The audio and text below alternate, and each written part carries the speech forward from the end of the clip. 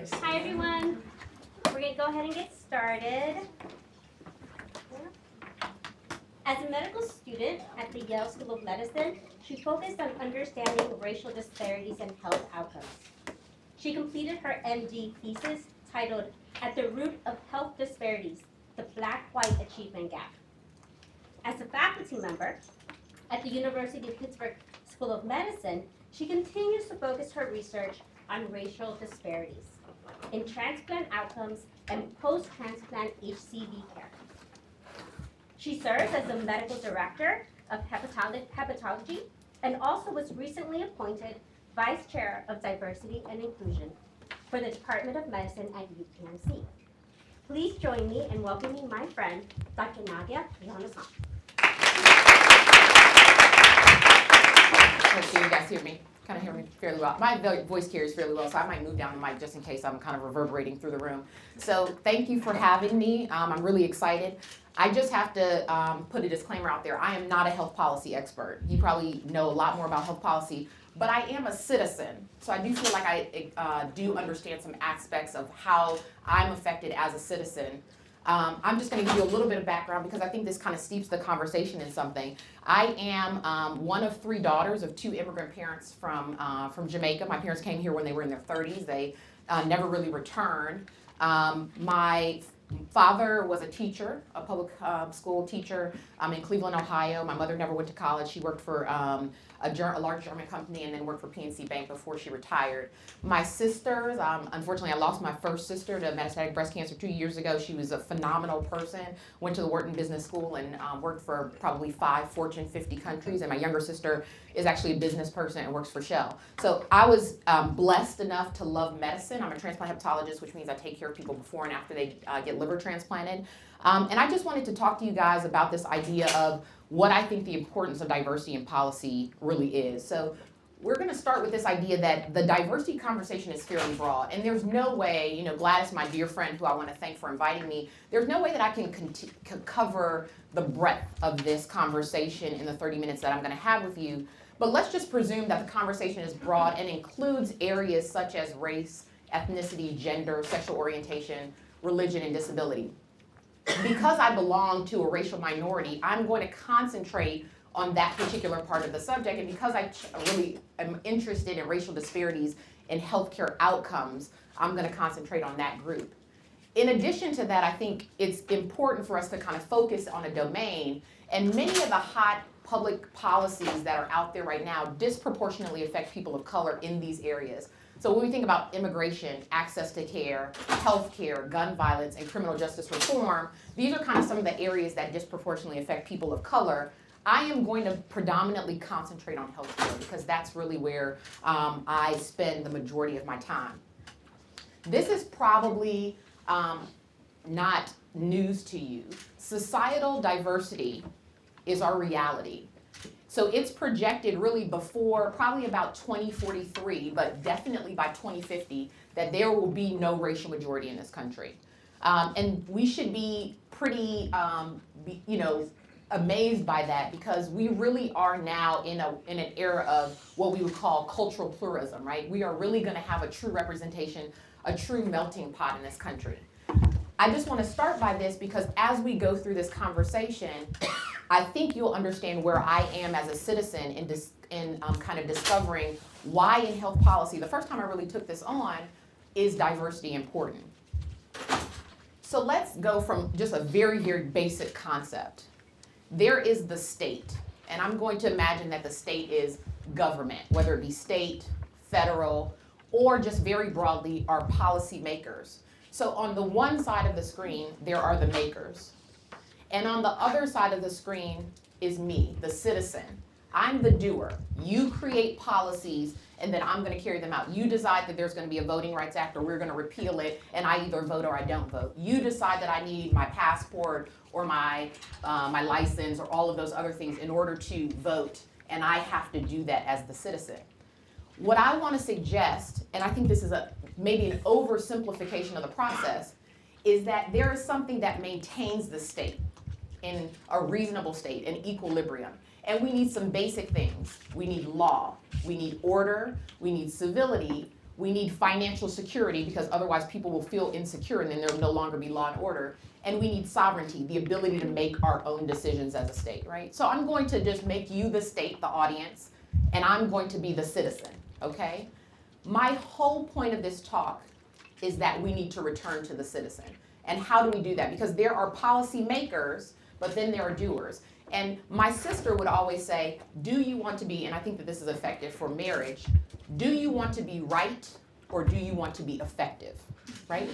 I can write, if you come into me and I have hypertension, you know, you come to me, you have hypertension, you have high blood pressure. I can write all the scripts that I want, but if I have not explained myself, explained the importance of the medication and why you should take it, have I been effective? The answer to that is no, right? You fundamentally leave, you don't take the medication because you think it's hogwash, and you still are hypertensive. So I haven't been effective. And my whole point is that as policymakers, you as the state have a role in making sure I, as the doer, am effective in carrying out what you think the policy was for. So my first thing is that public policy must concentrate, not maybe should concentrate, but must concentrate on the citizen. It has to be focused on the citizen because other, otherwise we're ineffective in what we do. So policy is kind of in my mind, you know, I'm kind of like, oh, public policy. You know, I kind of have to read, like, what is the history of public policy? Where am I? Public policy, policy in and of itself is essentially ineffective before, because of what I just told you. So our citizens have to be moved to do. People often talk about minority populations, the absence of voting, all of those things. I have never seen lines like I saw when President Obama went up for president, right? You would have thought something was being given out for free. And at the time, I lived in Baltimore, which is a, a city that's 65% African American. So people were waiting around blocks and buildings to vote. So again, you have to know that the doer has to be motivated to move in order for policy to be effective. And the question is, what do we as the maker owe them? What do you as the state owe them? So I'm going to take an exam- example because that's what I know from medicine. So you guys probably know this guy, W.E.B. Du Bois, who's one of the first African Americans to graduate from Harvard University. And in 1906, he wrote something called the physique, the health and the physique of the Negro. And at that time, there was a social debate in the community about whether African Americans had poor health because of segregation and social conditions, or whether or not they had poor health secondary to biological inferiority. So in 2002, some 100 plus years later, the Institute of Medicine, which is like the highest institute in medicine, you want to be inducted into this if you're a physician. I'm not. Um, but wrote this book called Unequal Treatment Confronting Racial and Ethnic Disparities in Health. Part of the reason for this is that in, in 1998, you can see that black males have 1.6 times, they're 1.6 times more likely to die than their white male equivalents by age or any other social match. What's staggering about this is this has not changed since 1950. So we cath people, we have immunotherapy for cancer, we have Plavix, we have aspirin, we have PPIs, we have blood pressure medication, things that we wouldn't have thought of back in the 1950s. And still the most vulnerable populations in our community are still just as more likely to die. So why is that? I'm going to argue with you that if the state is not effective and not representative, then the doer can't do, okay? Part of the reason for this, and they broke this down by multiple studies in this unequal treatment book that was written in 2002, that when studies were done, blacks were receiving inferior care. Like blacks and Latinos were receiving inferior care. And when you look at this study by Williams in 1995, you look at ICU patients, blacks had a shorter length of stay, lower resource utilizations, and had less technological monitoring than whites did in the population, and therefore were less likely to survive these hospitalizations. Guadagnoli did another study in 1995, and blacks were twice as likely to get amputations of their legs, and whites more likely to get revascularization. So you can have the tools but again, if not effective, it doesn't affect the outcome. And then Aaron actually did a study in 2000, and you guys probably know from that huge study that came out in Pittsburgh, um, whites are more, more likely or less likely to get cesarean sections, and you all know the infant mortality in Pittsburgh um, is phenomenal. If you see that, saw that a study that came out of Pittsburgh School of Public Health, if you are black, female, and you just leave the city, your life expectancy goes up. It's 2020, guys. We are having the same conversations that we had in 1906. So I don't know if any of you all listen to this. If you don't, you got to get the podcast, Hidden Brain. So this is a great NPR segment. And in June of 2019, they did a segment called People Like Us. And this is just again to reinforce this idea about the state and the citizen. So what they did essentially was they went to flea markets and they went to barbershops and they recruited black men. They took 1,300 black men, they recruited them, and they essentially randomized them to being taken care of by a black physician or randomized them to be taken care of a non-black physician. And they did anything from something that's essentially there's no real invasiveness whatsoever. You just get on a scale, get your height measured, BMI, blood pressure, get your cholesterol taken to something that was invasive, and they actually gave you incentive to do like a flu shot. So they would give you five to ten dollars of incentive the remarkable thing, and I don't know that anybody would have known this, is that every single time, no matter whether it was from getting your weight taken and your height taken to actually getting a flu shot, which is an intervention, you're actually physically getting shot, black males were always more likely to do that if their physician was black. And this has been studied multiple, multiple times. So again, in this particular case, the state and the citizen have racial concordance. Now, no one's going to suggest, okay, in every black city, 65% of the doctors be, you know, in Baltimore, 65% of the physicians be black. We're not suggesting that.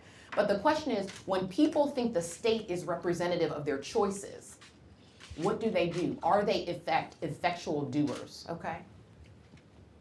So I thought that this was very articulate, so I was reading this paper called Ethnic Diversity and Public Policy as part of this talk. And in this, Crawford Young says essentially, we must assume that the value attached to ethnic affiliation by human communities is a natural condition, not pathologic in some scenarios where we sit in our own rooms or we sit in our silos and we're on Facebook listening to people with racist rhetoric and all of these, you know, anti-Semitic, all of these things, right? Those, you know, xenophobic type of things, that's pathologic, right? But an affiliation to someone who looks like your mother or looks like your father or has the same religion or worships in the same place as you shouldn't be at baseline considered pathologic, right? So we have to have some presumption about that. But that also puts us in a situation where if the state doesn't look like us or doesn't represent us, how effectual can we be in our policymaking? So the second point is that the state and the citizen should look similar because the affinity towards the group you belong to is natural. If you tell me, if my mother comes in or my aunt comes in or a black male comes in the room or white male comes in the room and says something, I might be more affected by that or feeling like that's true than if somebody else that looks very different from me or has a very disposition, religious affiliation, etc., than would. And I'm arguing that therefore you need representation. So we get back to this idea of the state and the citizen, and I ask you, if the state is a white male heterosexual from a rural area, and you happen to be a female, Hispanic, uh, lesbian from a metro area, would you want them making your policies? do you feel effectively represented by that person? And this is where we are. This is where we are, and this, this is going to be um, something that I talk about a little bit later. So I'm going to make a second assertion, which is that diversity of thought is good for innovation and change. So Fran Johansson sets me up for this talk because he's of, I think, Swedish descent has yeah, a black parent and a white parent, basically somewhere in Europe where there are essentially no really an island. He's like an island onto himself. He's like my sister and I basically represent the black population of Sweden, and you know, and he wrote a book called The Medici Effect, and it's a great book.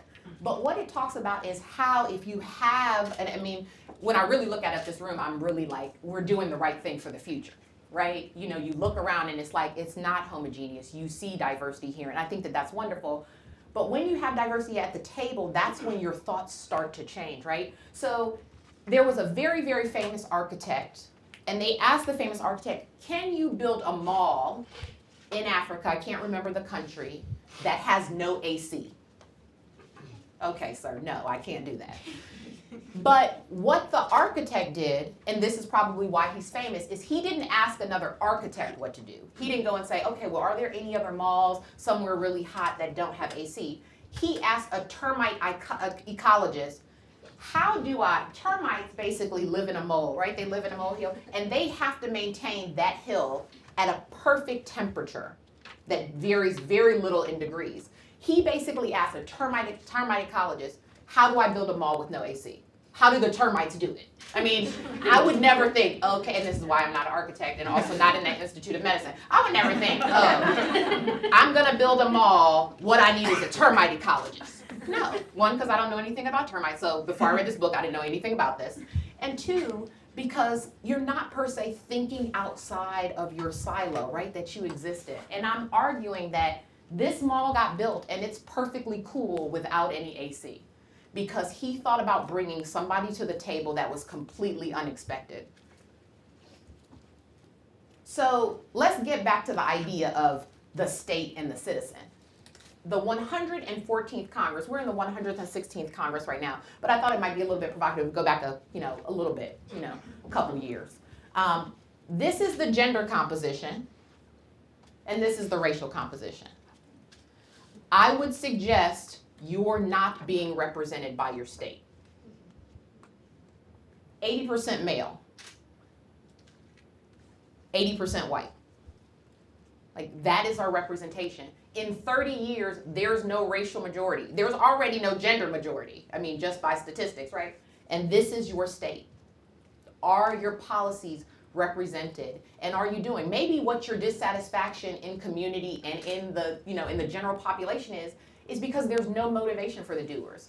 How motivated do you feel right now as the citizen based on your state? That's what you need to ask yourself. Is your state right now, your policymakers, the people who decide what you do as an American citizen or anything else, are they representative of you, your thought process, what you think? Remember, politics is local. You guys are going to change the world. In your generation, there'll be no you and I. There'll be no others because everyone will be an other. So think about what that means, I think, for the future. So why does it matter who's at the table? You know, I think it fundamentally matters because policy moves the social needle. Policy is not just abstract. It's not just, okay, these are the rules, follow them, etc. And I'm just going to give you an example. You probably feel a certain visceral reaction to this, but this was just what it was in 1950 and 60. Before the Civil Rights Act of 1964, mm-hmm. this is how we operated. This is what we did before there was desegregation in this country. For you, this probably has a visceral reaction, but this was the way that things were. You know, 300,000 people denied the right to vote. This was how it was before the, the Voting Rights Act of 1965. And I think what I really think is important is if we forget our history, we stand to regress and not progress. Okay, so if we forget, because there are people doing things, it's it's you know it's a little bit nicer, gerrymandering, changing lines, trying to figure out what to do. But why are we so afraid of the citizen? Like, why are we so afraid of what the citizen has to say? Why is that so scary to us as a population? Why do we have to gerrymander? Why do we want lines to be just, you know, just so? Why do we have the electoral college? You know, think about being afraid of the citizen and what that means for the policy um, and how those things are affected. So you guys probably remember this guy. I'm kind of partial to him. uh, partly because he was able to come up with, you know, to kind of do something, an assertion in medicine that had been a Herculean effort pretty much since like the, you know, inception of Medicaid and Medicare, you know. And, and just to remind you, people think, oh, you know, they say about your generation, you're going to have no social security. I'm pretty sure that that's right. But thank you for paying into the system in five to 10 years because I would like some. Um, but when social security was new, people thought that this was crazy. Now people are appalled. And that's just to say our times are changing. What was needed 10 years ago, 20 years ago, 50 years ago may not be needed today. So we need to keep in mind our populace and we need to keep in mind our citizen. So the reason why I'm partial to him is because he realized that this was not going to be sustainable. 17% of our GDP going into healthcare is not sustainable. It was thought in 10 years this would certainly be over 20%. Now, mind you, I can show you something else, which I'm not going to show you, which is there are countries like Cuba who spend pennies on our dollar and have the exact same survival as us. Cuba's, Cuba's biggest export in the world, doctors. When people say the Cubans are coming, there are countries around the world rejoicing because they know they are going to get the very best health care in the world. Doctors, you know, from the US go to wherever, go to Botswana, and they like, there's no CT machine. I mean, they're just confused. And trust me, I know, I've been there. Um, you know, I, you know, so just think about the fact that the Affordable Care Act would, for some people, this was like a non-starter. People were appalled at the fact that we were going to say 40 million people in our country are not insured, and we think it's probably reasonable to kind of distribute care or come up with a policy that makes sure that people can actually get basic care, breast exams, hypertension, cholesterol, these basic principles are taken care of. So that people also don't use the emergency room at an exponential cost to all of us, okay? But people were really, um, people were really kind of, you know, dismayed by this. So I get back to this, and I think, I don't know what you all's politics is, but if we just take something as basic as health care and the Affordable Care Act, my argument would be that if we concentrate on the citizen and the state is able to maintain law and order, civility, financial security, and sovereignty, why is that so disgusting? Why, are, why am I so devastated by the idea that everyone would get some basic health care in a country that is essentially the richest country in the world? To me, it kind of seems reasonable. And I think that's why I say, let's focus on the citizen. Let's focus on the doer. Because then I think that that distills arguments down, maybe oversimplified. And maybe people would even argue that the financial security piece is at risk. But the truth is, we're trying to repeal the Affordable Care Act, and the national debt is just rising, right? So, again, let's focus on the citizen. So I'm gonna end by saying that's like you know the fastest 25 to 30 minutes has ever passed for me. Um, so I originally thought when I took this vice chair of diversity job that diversity begets diversity. I was like, this is gonna be hard. Pittsburgh is not the most diverse city in the country, if that's news to you all. But it turns out that in my thinking, that I change my thoughts to that inclusive environments get that beget diversity. You don't have to be somewhere where everyone looks different, but if you feel welcome, that is a Herculean effort, basically, that you overcome. And it, it's a it's a real thing. So this really, I think, is the key. So when we think about these things, I think that we have to think about these things very, very importantly.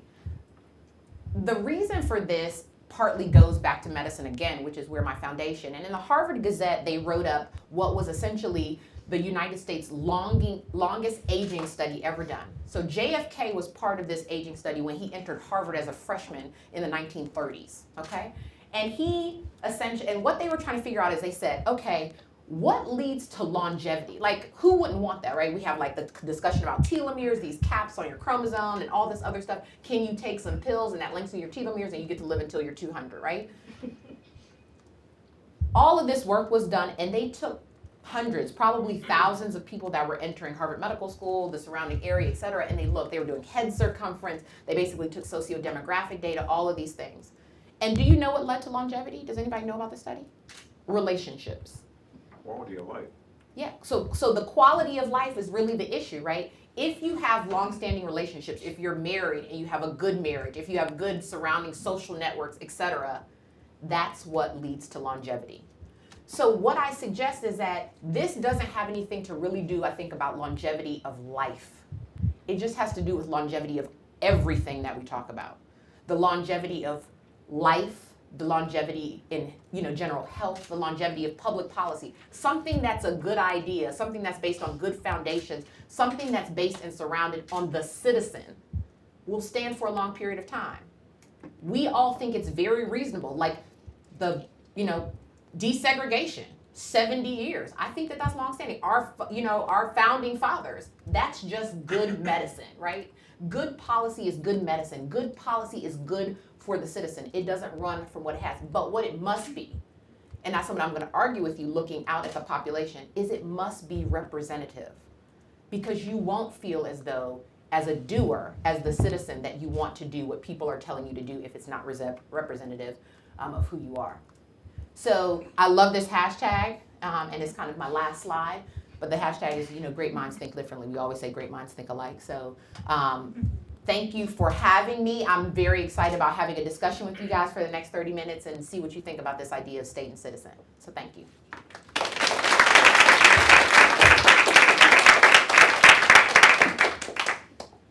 I know you guys are quiet, so don't make this painful for me.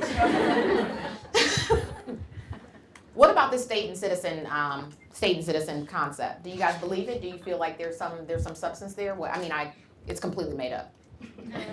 Um, but I think, you know, as a citizen, it, it kind of resonated with me, and you guys are gonna be the future policymakers of the world, so. So in this age of patient-centric medicine, we hear a lot about, you know, physician medicine, patient-centered care. Do you see this idea of state and citizen being addressed in that context? I do because I think, I mean, everything that I do, and I think the reason I think you bring up a great point is because if you're the, you know, everything that I do is pa- essentially patient centric, right? Why do I want to try three immunotherapies that basically cost your insurance company $2 million over a three year period of time if I could know what your genetic makeup is and, and essentially treat you based on that? I mean, that's where we're going, right? Immunotherapy is this idea that I can get your own immune system to fight off cancer better than I give you something that kills your cancer cells but also kills all the other cells in your body, right? So again, I think it gets back to this point of do you want to be right or do you want to be effective? Yes. Chemotherapy does kill cancer. It does also kill all your healthy cells, you know, kills a lot of your healthy cells off too. So I think we are this state and citizen idea as long as we maintain some type of law and order. Now, when you start to say patient centered care, then you could go very far with that, right? You could start talking about human engineering. You could start to say, well, if I'm the patient and I'm having a child, well, why can't I just have a blue eyed child versus a brown eyed child? Why can't I have a child with this versus that? And I think then we start to lose our law order and we may start to erode on our civility we're certainly going to start to erode, I think, on our financial security if we start basically creating medicine essentially a menu um, for care. So. Well, first, thank you so much for coming Oh, to no, my pleasure. here. Um, and I do really think that your concept of state and citizen makes sense, especially if you look at it on a more micro level. So thinking about companies and leaderships of company, like, you know, I know that my boss probably won't be a representation of me. so probably gonna be, um, you know, older, white male.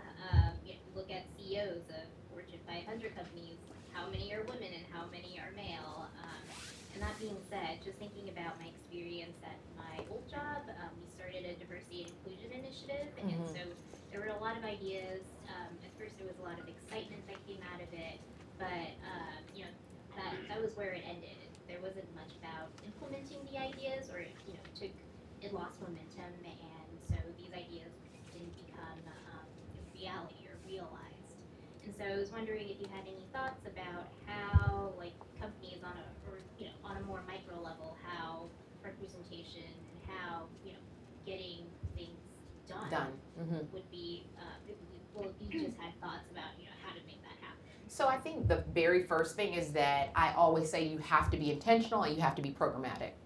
So if you don't go into a situation thinking, oh, I'm going to be intentional, I have a, a group of people. I may have, you know, a Latina from Harvard. I may have a, you know, a white male from Dartmouth. I may, you know, whatever. And I may have somebody else from, you know, you have to be intentional. You have to sometimes think there were doors that were closed for a long period of time. What do I want the population that's sitting at the table look like? I think one thing that's very provocative about what you mentioned, and I didn't show it here, I actually took the slide out, is that companies that are gender diverse make 15% more profit than companies who are that are not. And companies that are ethnically diverse make 35% more profit than companies that are not. So I think you have to talk about, I mean, if you really want to talk about it, you have to talk about it from the aspect of kind of what does your economic health look like? And companies, that will resonate with them, right? You're kind of like, okay, I don't have people at the table. If I'm a marketing company, why do I want to sit in a room with people who are completely homogenous when in 2050 the, the country's gonna have no racial majority? You have to have representation, and I think that's the biggest thing. The other thing is I think environment is is a big issue, and that's why I talk about these inclusive environments. I think you create an inclusive environment partly by welcoming people in. When people come, when they interview, they kind of say, "Oh, this place would represent me," but you got to get there first. It, you know, it may be all homogenous now, but how are you going to effectively change that? How are you going to sometimes make a decision of like, you know, something we don't, you know, we already have enough white males it's I think it's okay to say that. Like it's not a country full of all white males, and I think it's okay to say that, right? If I had a zoo and there were only elephants, I wouldn't probably go, right? I mean, somewhere that I'm coming to get a certain right. Yeah, I'm not coming to see the same thing every time, and company companies need to be evolving. The other thing is I tell people all the time, and we say this at University of Pittsburgh in the Department of Medicine, I can sell anybody a bag of goods. I'm a pretty good salesperson.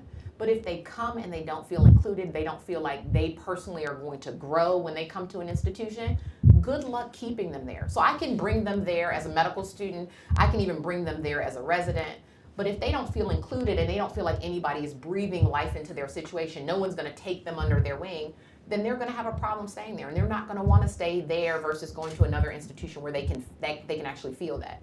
So I think inclusive environments are important, making decisions that are also sometimes difficult and but are intentional and programmatic are also important. And you are gonna and that's gonna make some people uncomfortable. But I think being uncomfortable is okay. I think it's okay to sit at a table and say, oh, look, you know, we have a list of applicants. Everyone that we're looking to hire looks the same, is the same gender, and is of the same race. Do we feel okay with that? And then we look at the country and we say, what are we, you know, what are we doing here?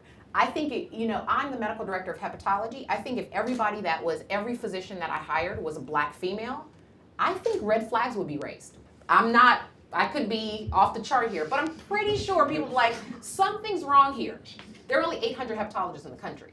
So if I hire every black female that's a hepatologist, I would have hired half the black female hepatologists in the country. People would be kind of, you know, unsettled by that. If you twitch it around, people are not unsettled by the fact that I can go into a division and see people that all look the same, all the same gender, all the same race. Not that people are not disturbed one bit. And I think we have to think about those things. Um, do you see certain areas of medicine too where it is more homogenized? Because I guess I've just, I mean, I know I'm just one person, but I've been, um, I've been going to UPMC for endocrinology treatment for over 20 years, and I actually have had only one doctor who was a white male. I've had all women of color for all of my other endocrinologists, which I Mhm. think, so I don't know too if you see certain segments of medicine where there are more people of color and Yeah. more women of color, Yeah. and then other areas where it's Absolutely. I mean, I think people are, I mean, I think again, what resonates with people, right? Mhm. People, you know, black folks suffer more from hypertension, diabetes, the effects of that, some of the data that I share with you, you know, basically getting amputation secondary to complications of diabetes. So I think people are more essentially drawn to those areas where they may have a family member that mm-hmm. suffers from something, et cetera. So there are things that are highly male dominated, like the surgical subspecialty is mm-hmm. still highly sub uh, um, dominated. For example, I'm my subspecialty is hepatology, but I'm trained in gastroenterology, highly male dominated. Um, you, you tend to see in the more procedural, interventional kind of, you know, to simplify, play with toys. um, males, um, and then some of the things that require a lot more longitudinal care, caring, et cetera. There's also some data to suggest, and this is new data that came out when they looked at a million patients. And in medicine, we concentrate a lot on things like parameters of uh, quality, like readmission to the hospital within 30 days of being discharged, and mortality. And women doctors tend to be have patients that have less mortality, have a lower mortality, and have less less 30 day readmission. And the question is, why is that? What are the best part of women that we can capitalize on that we somehow that somehow is clustering with gender? And it could be just right. The numbers are extremely large. Um, but there's something there. The other thing is that you all may know that in 2019 it was the very first time that women outnumbered men in medical school. So the workforce is going to also look different in the next 25 to 25 years or so. What else, guys? I love it. Keep on going. If they don't want to have a conversation with me, we'll have a conversation. Thank you. So, um, so technology is beginning to play a huge role Mhm. in, in, in healthcare, right? And, uh, you know, when the Institute of Medicine came out with these first reports, Mhm. the hope had been that um, on the issues of health equity and, and diversity and so on, that uh, technology would actually act as an advisor, as an advisor. But uh, what we're finding now is it's only as good as, you know, the data that's given, the people who make these decisions and, and, and, you know, we hear now about, you know, so much about algorithmic bias and Mhm. so UPMC is a very technology-centric uh, Mhm. environment. Right. Can you talk a little bit about how um, this is, you know, really affecting your day-to-day use of the technology for patient care and um, its impact and, and, and where the um, Where the disconnect is? Yeah, disconnect as well as how to really start addressing that and, and, and, but really maybe, you know, see whether, you know, we can potential. I mean, I of thi- For I think a part of it, so I think there's gonna be two, there's one thing, so which is education. So how many of you have taken the Harvard implicit bias test before? Have any of you all taken it? Which is phenomenal. And I, I suggest that if you kind of want to know more about yourself, you should take it. So that's the first thing. There are implicit biases and there are also explicit biases. I, um, it really, really starts with education. One thing that we we fundamentally educate people sometimes in medical school about these fundamental differences, right? So let's just take for example the fact that you know I may have sideburns growing down the side of my face as just part of. I mean, I, I don't, but my sister who would get mistaken essentially for Iranian. People did not think that she was black. She's very hairy. She kind of had sideburn. That's not hirsutism in her. That is just a norm, right? It's just a variant on the norm. When women present, for example, with heart attack, we know that women are less likely to say that they have the typical pains that a male. You know, it's kind of like man flu. Like a man's sick from a flu, and it's like, oh my gosh, I'm falling out. I'm, you know, like, I mean, we have these concepts because people present differently, right, in these regards. A woman has a flu and she's kind of up for the next two days, still taking care of her kids until she just can't do it anymore. I mean, obviously there's a bias there. Loves men in audience, and, I, and I'm married to one of you. Um, so I know these things are real. I'm not, I'm making them up. Um, but we tell, you know, Women don't present with chest pain in the same way. They may be having an MI. Minorities don't present with chest pain. And we teach that in medical school. We say, when you see something, you've got to be very careful to not call what may be atypical. A woman may be saying, oh, I kind of have a discomfort. They're not saying I'm having chest pain that radiates into my, I'm having a discomfort, maybe a little bit of pressure. I, don't, I feel unwell. They're not saying, oh, I feel like I'm going to die. Um, and that I think is part of it. So education is part of it, dealing with the implicit bias. What I think in technology is going to have a huge role is exactly what you talked before. before. Two things. Um, the technological advances and artificial intelligence. I think artificial intelligence is start going to start to really. We're going to put basically information. We talked about this kind of AI, machine learning, et cetera. And from Watson or whatever, we are going to get some idea of what really is at the top of that differential. Because if we can't differentiate those things, we're going to continue to have this. We're going to be having the same conversation. We have major technological advances and still the same health disparities we had. We've had healthy people 2010 to that like every single decade we've had healthy something and we have not met those goals.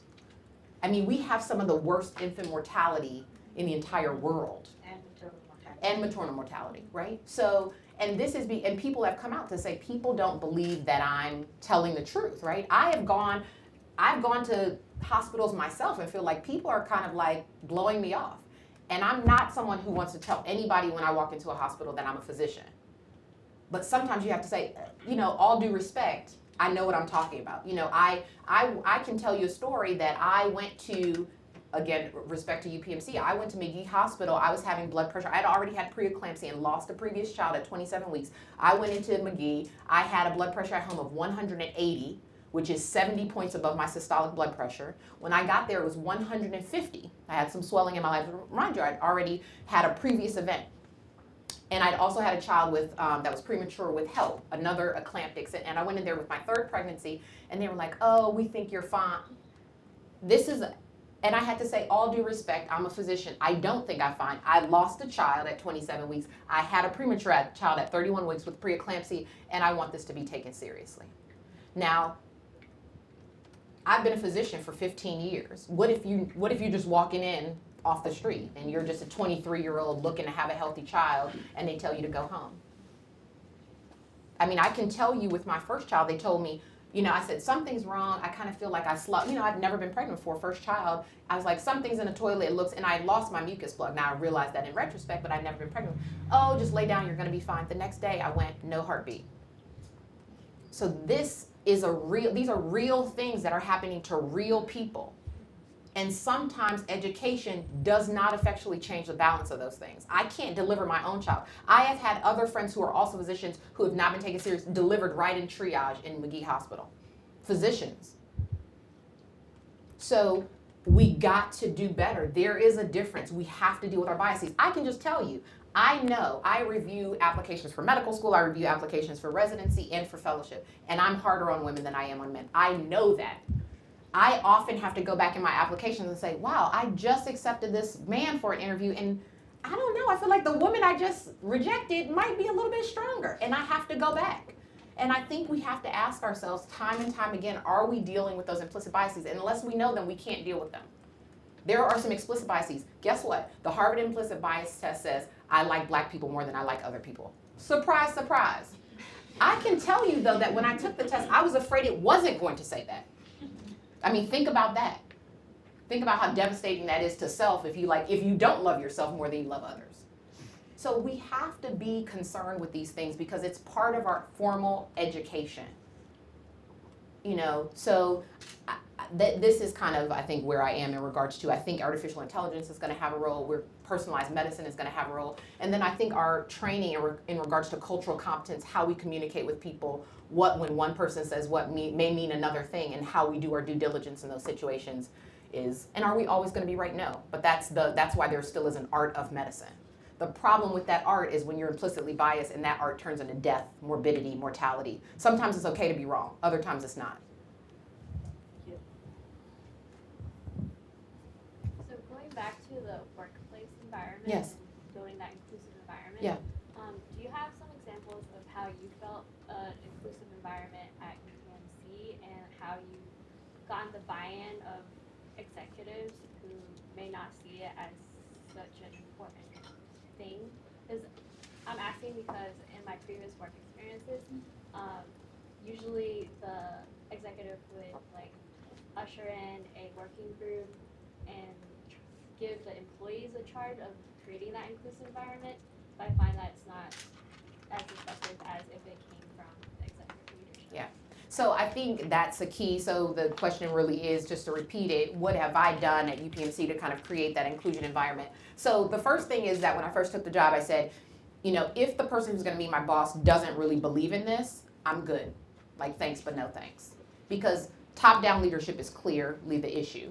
It is overly burdensome to citizens and societies and groups of people, particularly who are others. Now, mind you, other is not always the opposite of heterosexual, male, and white, right? There are just others in the population. And it is burdensome to them to constantly be charged with their own sense of inclusiveness. Like it's like, oh, plan yourself a party.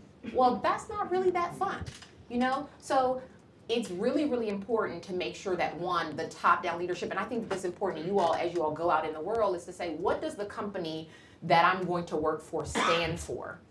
I give a talk. I gave a talk at UPMC when I first accepted the job, and I showed the Google letters, but it didn't say Google. It was the letters, it was the the colors and everything. But everybody knew it was the Google symbol, right? You know because you know somewhere you've never been inside Google, but you know someone's riding a unicycle, eating free sushi, and basically playing on a bouncy ball somewhere because that's what they do. That's what they're known for.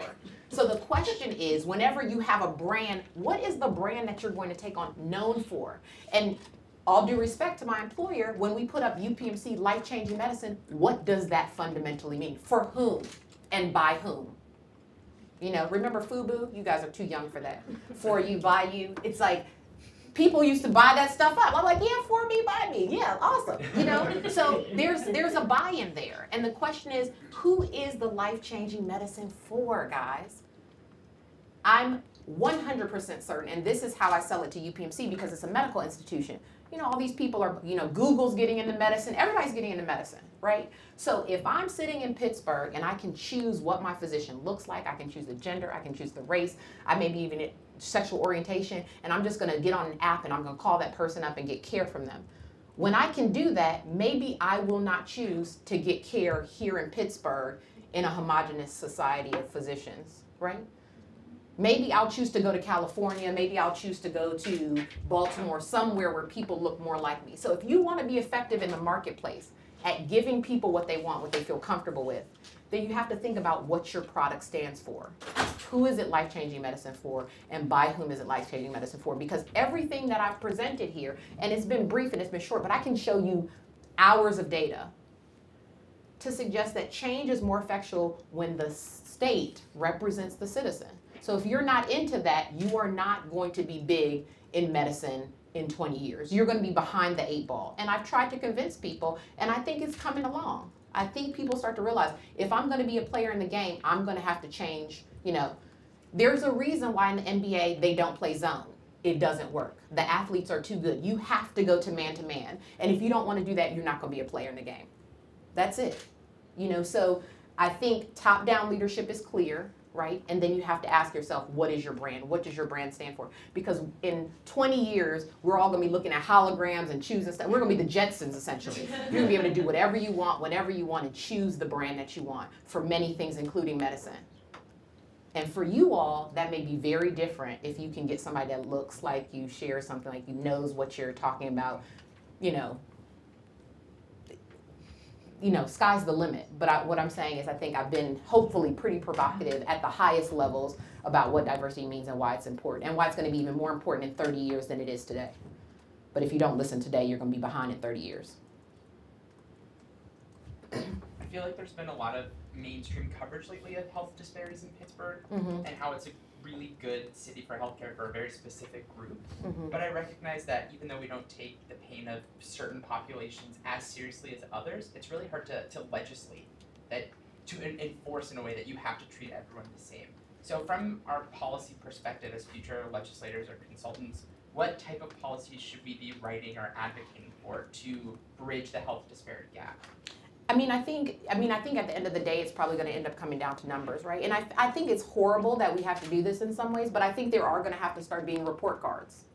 You know, if you take care of a certain population of patients, right, and I and I suggest that, wow, your disparate outcomes are way out there. Like you're a cardiologist and you haven't recognized an MI in a, you know, in a female in the last ten years, and people are dying at your hand, then and that's going to start to be publicly available information, right? So I think we have to just ask ourselves, we're gonna have to start asking ourselves, even when we're in that room with the patient, what might be different about this scenario than another scenario, right? Oh, let me remember that this may present differently in this population than this population.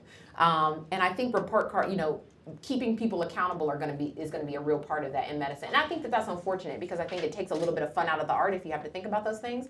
But I do think that, remember, it's only gonna take up those people who are kind of two and a half standard deviations from the mean. You know, everybody makes mistakes. Nobody wants to be big brother, and there's nothing that, uh, you know, a physician hates more than a lawyer. Um, but I'll say that, you know, you, you do want to keep people accountable, and there are people who have not just dealt with some of the basic, you know, their basic implicit biases and their ability to kind of practice, I think is being, is being um, hindered by that.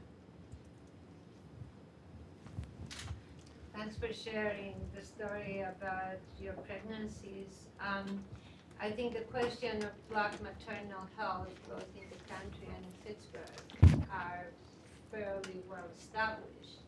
Is there anything that UPMC is doing to, uh, so other people don't have your experience and if there is a more systematic approach uh, to black maternal health issues? So this is, you know, I don't know that UPMC has put out anything formal, and people are, I think a lot of people who study health disparities and work in the diversity inclusion space are looking for UPMC to put something out about that. Obviously, I'm not coming to Carnegie Mellon to be, um, to say anything bad about my employer, but I think we're waiting to see what it is they feel like we can do, because I think UPMC has, um, the chance to really revolutionize how we take care of people um, in the country. It's a very, very unique situation of being a payer and provider, and we are the only academic institution in the country um, that really is both at this large level insures four million people, both a payer and provider. So we have the ability to establish the goals and what we think the criteria for good care are. And I think we should be doing those. I think it gets back to the idea of what he asked, which is the report card issue of like policy to say, what do we think is not reasonable? And what do we do with these people who are outside of the dom- domain of what we think normal survival maternal survival and fetal survival in, in, in, um, in pittsburgh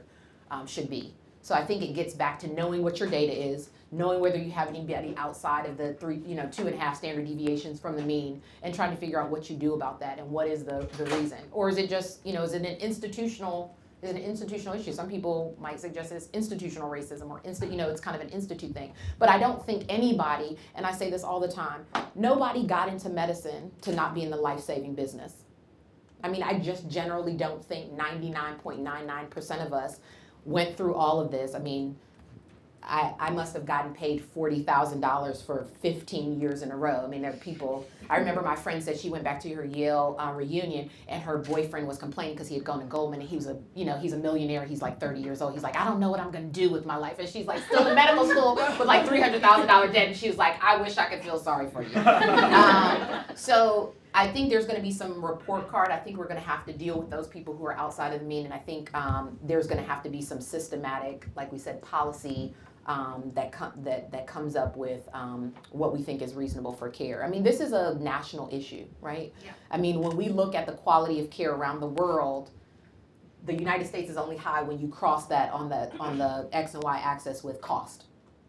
I mean, it's flat when it comes to quality because the quality is the same essentially throughout the world, and the United States is just peaking out and far point um, to the left hand side when it comes to costs. So we just have to figure out how to do what we do better. But I think we're all in the life saving business, so I think that that should be, if we create some policies and some standards, that should be remediable. Anything else, guys? Yeah, thanks so much for coming and talking. thanks. um, so something I've been thinking a lot about recently is that, um, you know, I mean Heinz, like as a Heinz student, Heinz College is located in a city where a majority of public school students are African American, um, and yet, if you look at the student body at Heinz and the uh, like the, the faculty here, that's not really represented. That's it's a very very tiny percentage, um, and yet like you know, Heinz College, you know, under your framework, it's kind of training us to become this in a way. Mm-hmm. Um, like a lot of a lot of people come from Heinz uh, into local government in Pittsburgh and Allegheny County. Um, so I'd love to hear your thoughts on sort of like what is our responsibility as an institution um, with regards to everything you've been talking about, um, and uh, kind of how do we avoid sort of perpetuating this problem of So there's two things that I think about. One is something that um, Warren Buffett said a long time ago, which he said um, is if you want to not be part of public education, you should have to buy your way out of it. And I don't think that that's such a bad idea. And I'm somebody who does not send my children to the public school in Pittsburgh for exactly the reasons you talked about. I don't think my children are a social experiment. I went to public school. I went to a high school where probably 20% of people go to go to college. Um, I was so scared I slipped my application to Johns Hopkins underneath my guidance counselor's door because I thought he would say, "You're, you know, this is a joke, kid. Like you're never going to leave this high school and go to, you know, a premier institution." So, I think that um, one is we should have to buy our way out of the system. If you're privileged enough to not have to go to public school, you should have to pay into the system above and beyond your taxes. The second thing I think, um, and I think that that's a little bit radical, and it's my personal opinion, right? The other thing is I think we need to start educating people at these institutions. These five and six year old children that are minorities that are in the city, just as smart as all these kids that are in the north, just as smart as all these kids. But because it's not on their multiple choice, if I put up a question and I give you A through E, you're gonna pick something. You most people that are five or six in the audience, even if say one plus two equals three, most kids are not gonna be brave enough to say, oh, the, the answer's not there, right? And most of these city kids don't have on their multiple choice. I can go to Heinz College, I can go to CMU, I can be a physician because they don't see anybody around them that's doing that. I grew up in one of those communities, so I know. Like, the people in my community that I grew up with are not doing anything significant. You know, they're still in that same community, kind of doing their thing, and they're proud as can be if they see me on the street. But the second thing is, I think we as educational institutions need to build educational institutions. Why not? Why can't Carnegie build, Mellon build a K through 12? Why can't UPMC take everybody that works in the cafeteria, build a K through 12? If you put all those cafeteria workers, all the people that are working in these in support staff in a school K through 12 built by UPMC, focusing on STEM, you'll have a medical school full of minorities in less than a decade and a half. I mean, that's revolutionary. All this other stuff, you're kind of chipping away over time. Institutions of higher learning, I think, do need to give back to the lower learning. And if you want to fill the institution of higher learning with a diverse population, then you have to know that early education is part of exactly what I talked about in my medical school thesis. The black white achievement gap is real. It's not because blacks are inferior in any way, shape, or form. Is that early education is poor. If you have to change schools three times before you're in third grade, think about the effect that that has. If you don't have food security, think about the effect that that. If you're going to school every single day hungry, I mean, I cook my children a warm meal every single day because I'm serious about like I want you to go to school with your brain full of fat and dehydrated, whatever. So, you know, if you end up being a dummy, you're just a dummy, fine. But at least I know I supplied you with everything that you need in order to be successful, right? So, um, I just, you know, it's, I just think it's really, really important that we, that we give back. And when we have the ability to do those things. Somebody came to me the other day and they were, you know, the, the, um, the chair of medicine had introduced me to some underrepresented minorities who had graduated college. And one girl was just saying, I can't afford the MCAT. And you can't take the MCAT without a prep course. It's just, it just makes an uneven ground. So then you're right back, you're in the application pool, your score is not as good as everybody else, you know. So I'm just kind of like, this should be surmountable, right? I should be, I'm like, I'll pay for you to take an MCAT class, you know, but that's one person. You know, we got a big, we have these large institutions. We have people who are willing to give money and to name buildings and do all these things. What about a K through 12 school? How can we support that? Maybe it's even a charter, partly supported by, you know, our state government, our local, all these other things. But we got to think of a way out of this situation where we don't fundamentally care about public school education because the people who have are able to basically get out of the system. And that's the issue. We're cre- and we're creating a wider chasm between the have and have-nots, right? Some people will escape. I will go from being in the bottom fifth percentile to being in the top fifth percentile based on what my parents earned. You know, my son has no clue. My son, I drove him home the other day. He's like, Are we poor? I said, Our garage is the size of the house I grew up in. I grew up in a house that was less than 700 square feet with five other people. And you know, you know, you know nothing of that, right? But that's one family getting away. That's two families getting away. How do we create, you know, I couldn't, I will tell you, you know, the things that bother me is that I'm in a city, for example, and we went to see the Phipps lights, for example. We go around, da da da da. I didn't see any black people until I went to the cafeteria. Pittsburgh is 26% black. You wouldn't know that per se walking around the city because there's these small pockets, right? I don't send my, I didn't send my child to public school. I live in Squirrel Hill. But the thought is that, right, everyone's gonna presume when my son walks through the front door that he grew up in Homestead, not in Squirrel Hill, right? I mean, my partner asked me, why do you live in Squirrel Hill? You're not Jewish. I'm like, how do you know that? I take offense to that. I might be Jewish. you know? But so, and, and that's fine because I think we have, and I, the other thing is I think, you know, and this brings up a point, we have to have a conversation about race in this country. We can't just keep on like acting like it doesn't exist. People will say things like, I'm colorblind. That's ignorant. like, no, you're not. You don't know that I'm brown when I walk in the room? That's crazy. But the irony of that is that I don't want you to be colorblind. I want you to know that I'm black when I walk in the room. I want you to know that I'm a female. I just want you to have no suppositions about what that means when you see me. Because you don't know anything about me, right? So I just think that we have to be more free in our conversations. We have to be more loving. You know, I think about there are things that I don't understand. I may be in a diver- diversity and inclusion environment, but there are things that I don't understand. But what I think about is the fact that less than, you know, 100 years ago, somebody thought I was two thirds of a human. Let me just consider in the things that I don't understand, that I may not understand it and I'm trying to learn, right? I'm trying to open my mind to what is other or what is different. I don't represent all that is minority in this country, all that is other in this country, but let me open my mind to some of these things that I didn't grow up with, that I don't know. Um, you know, so these are real, you know, these are just real conversations that we have to have and we're going to have to have with our children. My son came to me the other day, how do you know Noelle, which is my three-year-old daughter, wants to be a she? I don't know. I don't know. I don't have an answer to that. I don't have an answer. I'm just, I'm, you know, and she may not. But she, when, and when she expresses that to me, I'm not going to assert that on her, right? But I don't know. But this is a seven-year-old already asking me these questions, right? And I don't have all the answers. I don't have all the answers.